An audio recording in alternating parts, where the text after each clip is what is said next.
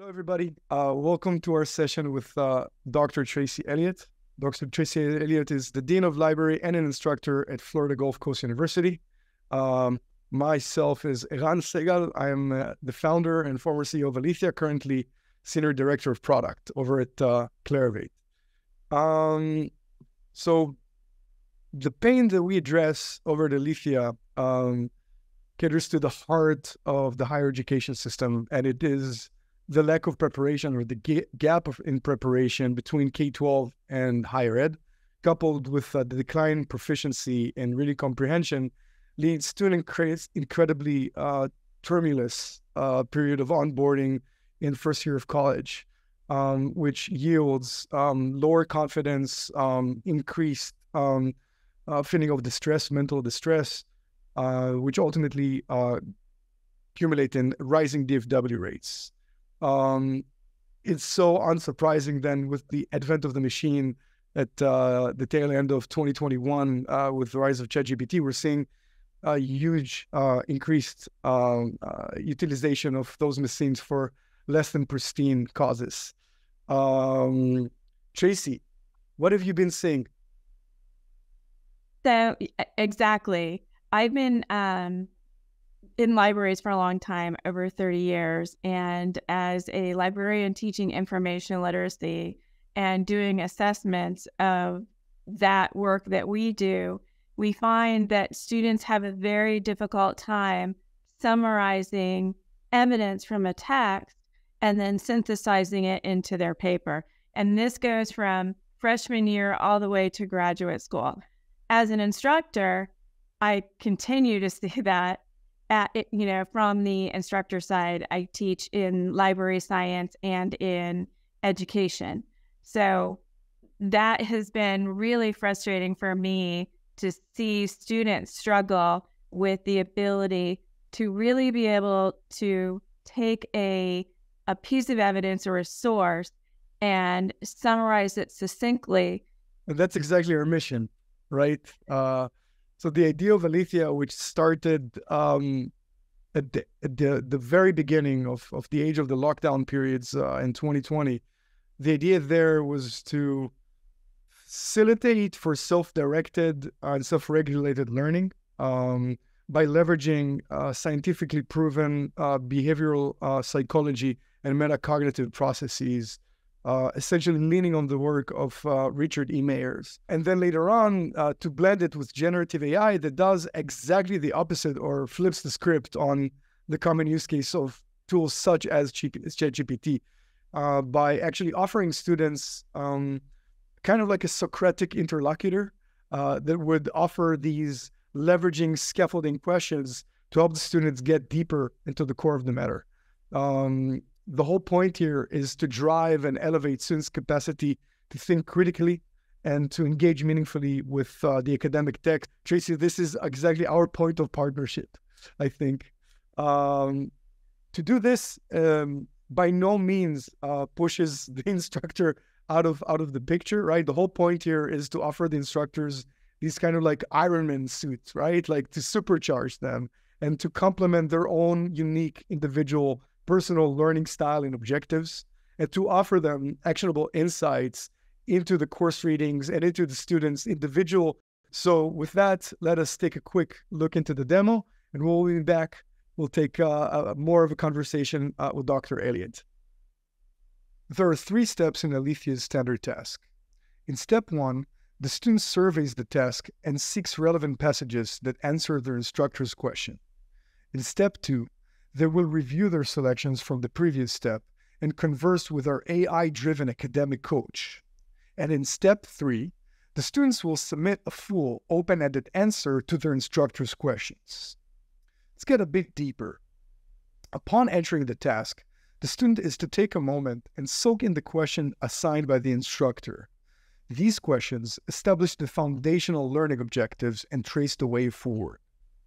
As the student goes through the text, they're purposefully seeking answers to correlate with the questions, thus shifting the reading experience to an active and focused procedure. As they do so, they're also compiling external memory banks for each unique question.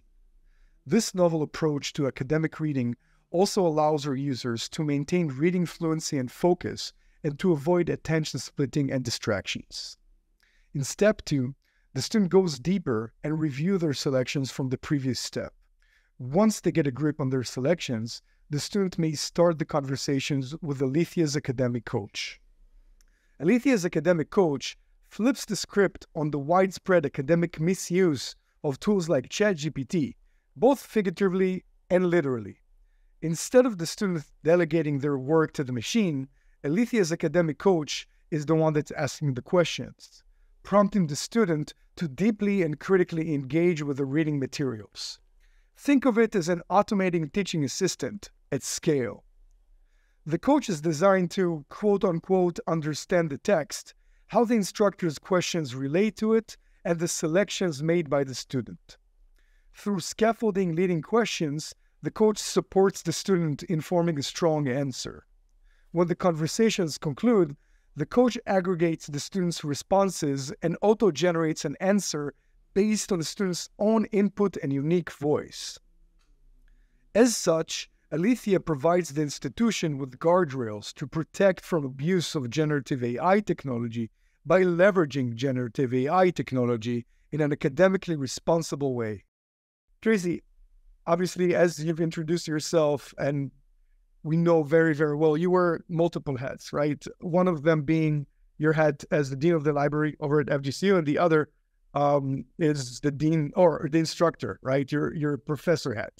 Um, and with that, I'll, I'd like to start um, with you being the the dean of the library.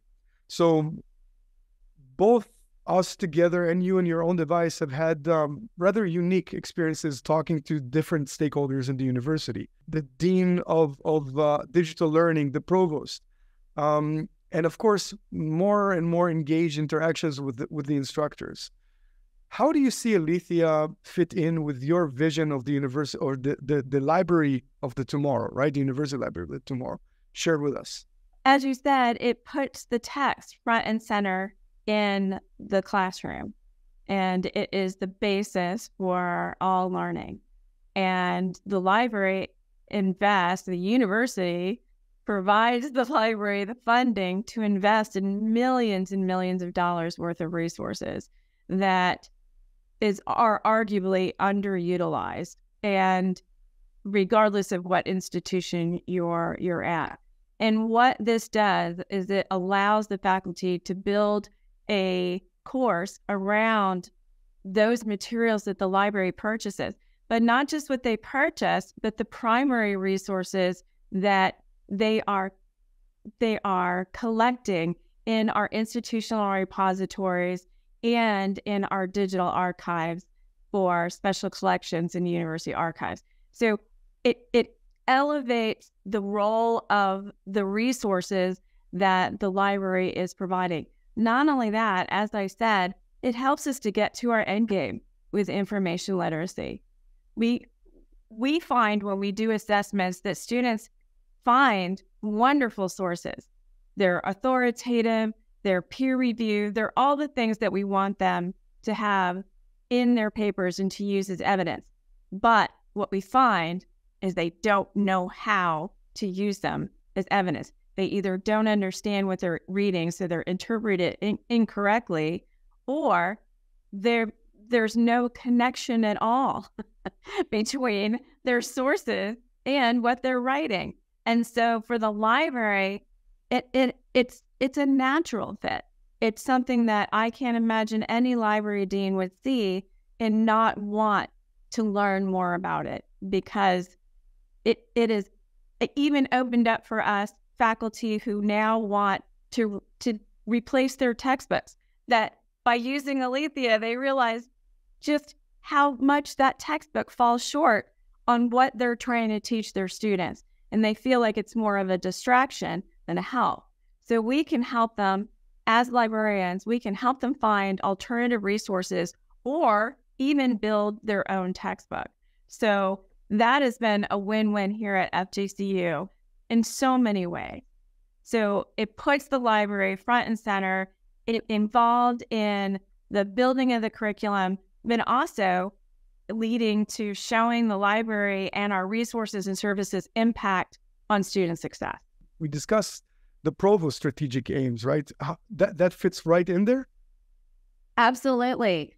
Uh, and in Florida, we have uh, this wonderful thing called performance funding metric.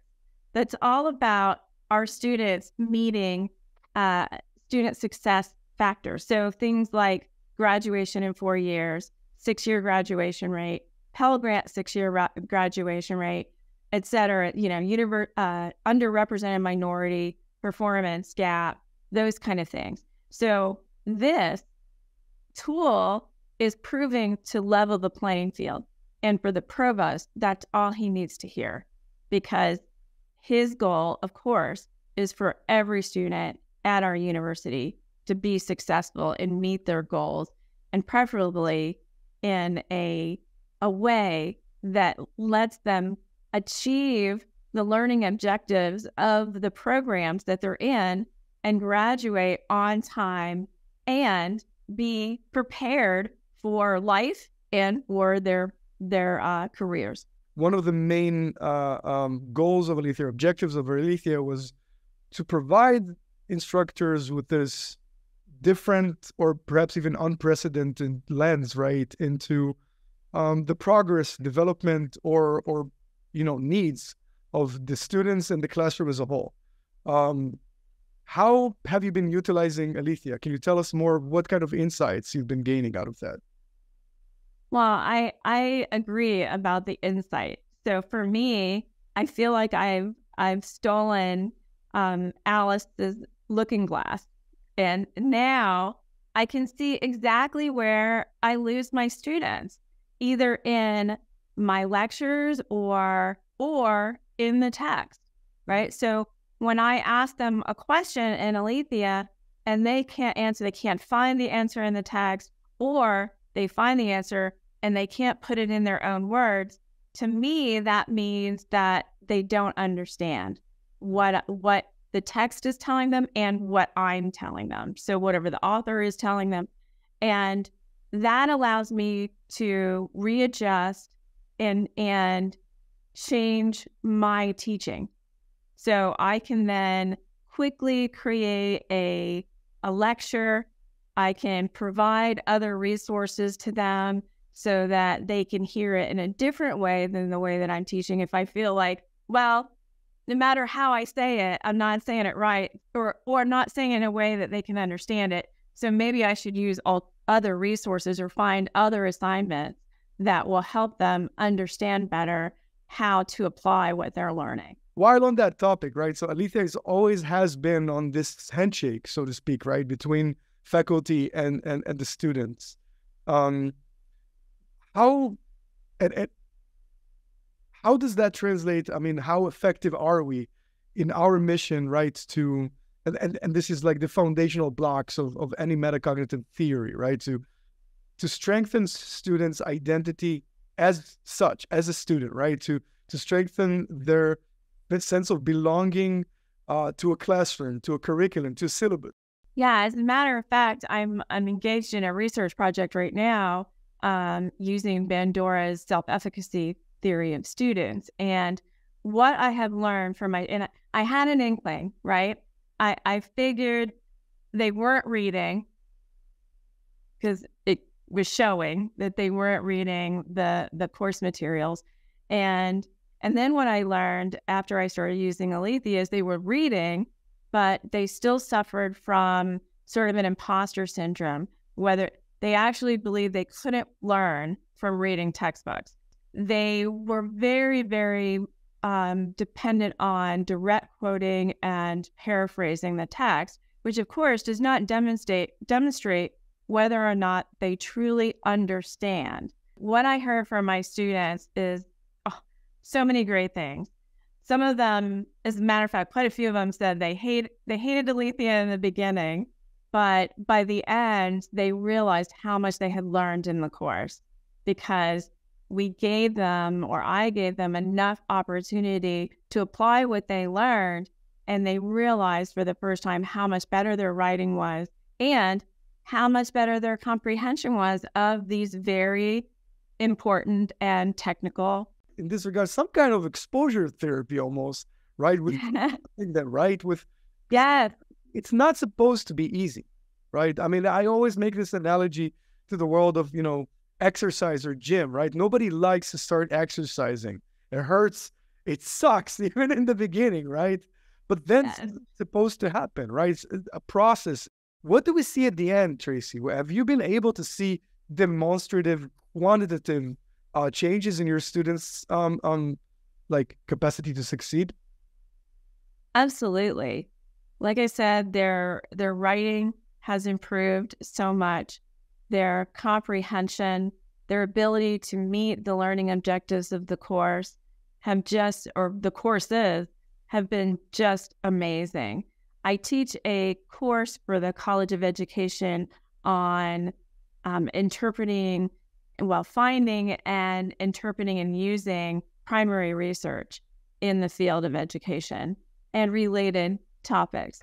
So, one of the things that I learned immediately is that my students had no idea how to interpret the findings of a primary research study.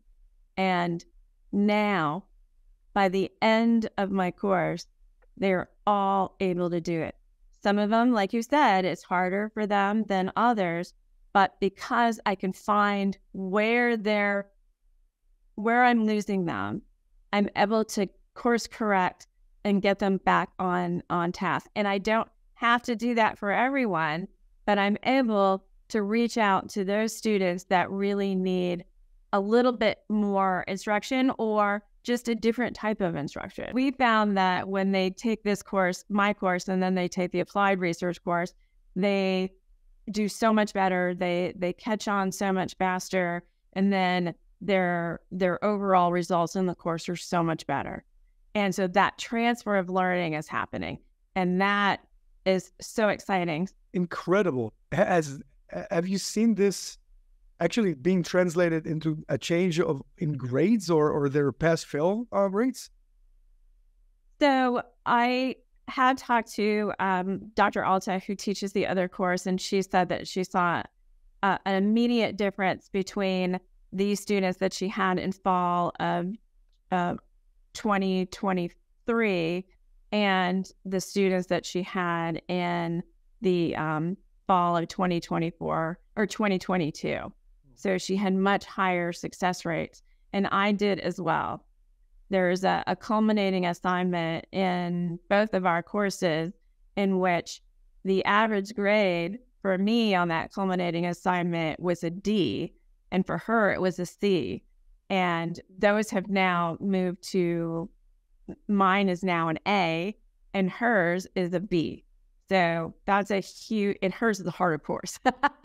so to get a B in her course is really phenomenal. And that that's the average grade is just, uh, it is a high B, so like B plus. So we're really excited by these results. I feel like I'm getting better as an instructor. So I think our students are going to continue to benefit from the improvement in my teaching. Well, one of the things I keep telling the provost is that we have yet to have a faculty member who has used Alethea to want to stop using Alethea. They all want to use it. And now most of us are using it in every single course that we teach.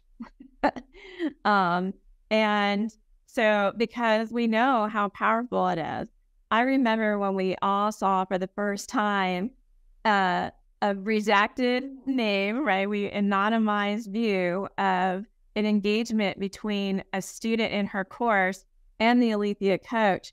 And even her mouth dropped open. We were like, this is incredible. She's like, this, it sounds like, it looks like the student is talking to a business faculty member about business concepts and business strategy. And it was just a beautiful thing to see. And and who knows when it happened, it could have been happening at two o'clock in the morning. So the students have access to this type of assistance that the university could never provide, could never provide on a consistent basis. We even have our, our um, associate vice president of student success view the results, and he said the same thing. And he's in charge of tutoring and other support services for our students.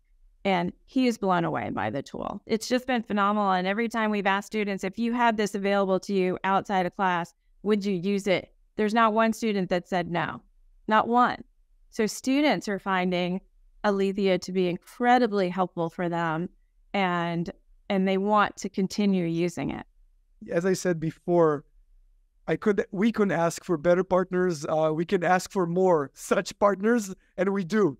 Uh, uh in, in in this partnership is unbelievable to us, Tracy. Thank you so much for taking the time for this conversation. Um, looking forward to many more uh, semesters and successes together. Thank you so much. Thank you.